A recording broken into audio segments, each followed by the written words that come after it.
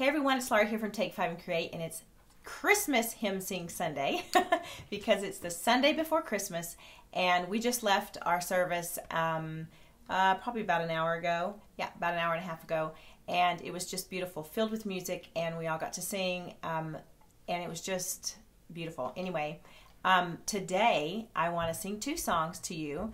One was recommended. I asked a lot of people on my Instagram account, so if you're not following me there, go follow me at Take Five and Create um, on Instagram, and you can vote too when I ask you questions like this. But I was wondering, what songs do people really want to hear for Christmas? And one of the songs was "I'll Be Home for Christmas," and I thought I was like, hmm, I don't, I've never really even sung that song. Um, growing up, I know the song, you know, that I've heard the song and stuff, but I haven't ever really sung it. So um, it sparked my thoughts and I thought, well, even though it's not a hymn, I'm still going to sing it because it's a beautiful Christmas song.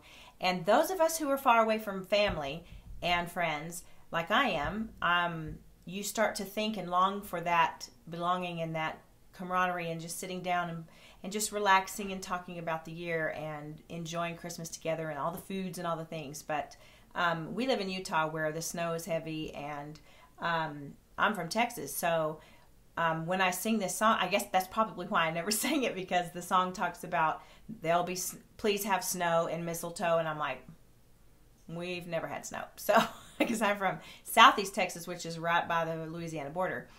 Um, anyway, so I guess I never really sang it because I I didn't even know what snow was until I really moved to Utah. So now I got too much of it and I'm happy to get rid of it. But this song is a beautiful reminder that um, your thoughts are really with the ones you love during this season.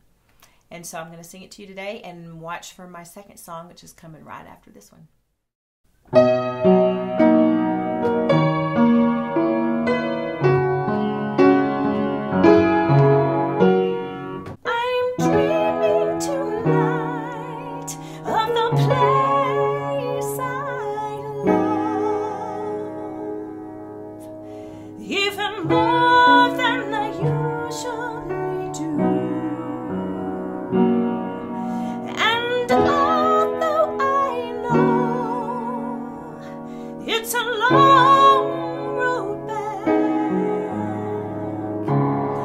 Oh.